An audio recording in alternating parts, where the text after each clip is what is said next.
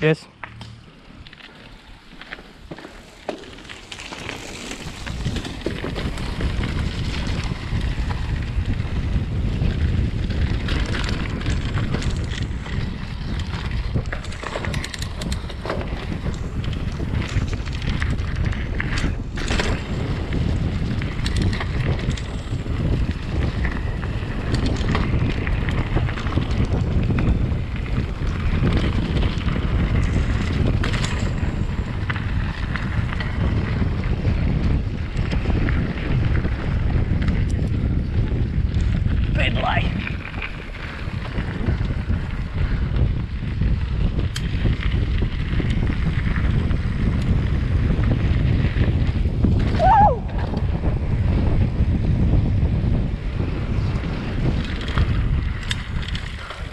Kak ti prce kamenčić je?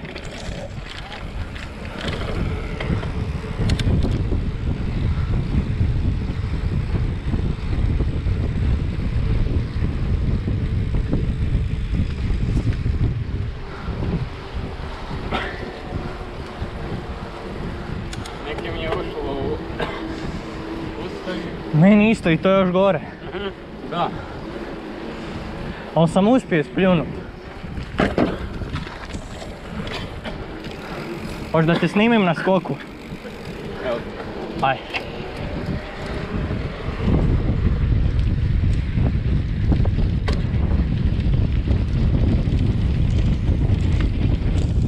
Uho!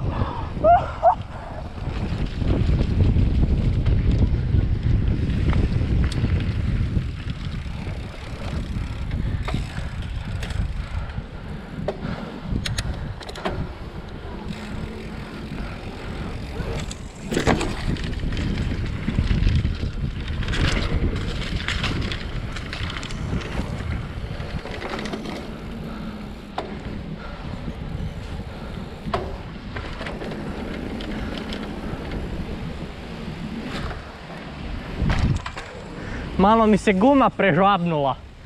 U, ovo je bilo dobro, e. Ne znam da li je ulovila kamera.